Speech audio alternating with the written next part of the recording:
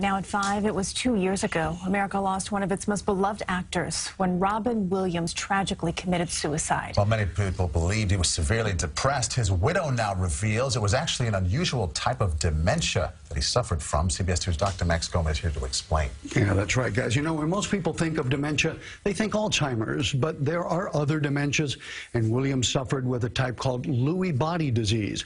Appearing on CBS this morning today, Susan Schneider Williams revealed the diagnosis that explained the seemingly unconnected symptoms that led to her husband's suicide. He was one of the most talented performers we have ever known, with an amazing range from slapstick comedy to moving dramatic roles. Do you think I know the first thing about how hard your life has been?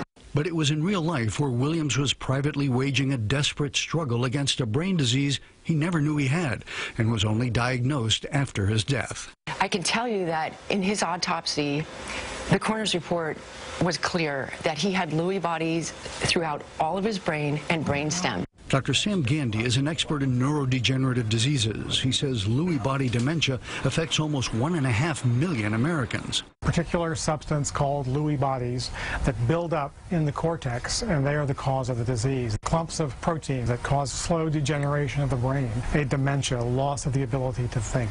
In an editorial for the journal Neurology titled The Terrorist Inside My Husband's Brain, Susan Schneider Williams describes Robin's final year of life.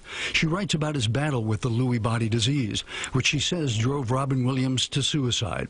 She writes, quote, It felt like he was drowning in his symptoms, and I was drowning along with him. Because Lewy body disease can resemble Alzheimer's and even Parkinson's, doctors often prescribe medications for those illnesses. But the typical medications for Alzheimer's and Parkinson's can make Lewy body disease worse. Williams did have bad reactions to medications, as well as another hallmark of the disease. His fear and anxiety spiked and sustained at a level that was was very scary. So that was kind of the beginning, really, the way I see it. Now, his widow says neither she nor anyone on his entire medical team suspected that Robin Williams was in danger of taking his own life. She says he was probably hiding the depth of his pain and frustration with his brain deterioration, hiding it from them and even from himself.